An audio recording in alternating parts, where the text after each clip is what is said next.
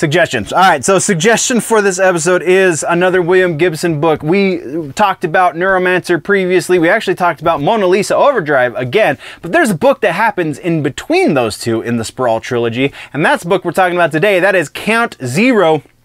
Count Zero is, again, the second book of the Sprawl trilogy. Takes place technically seven years after the events of the Neuromancer book. Like I said, we've spoken of previously.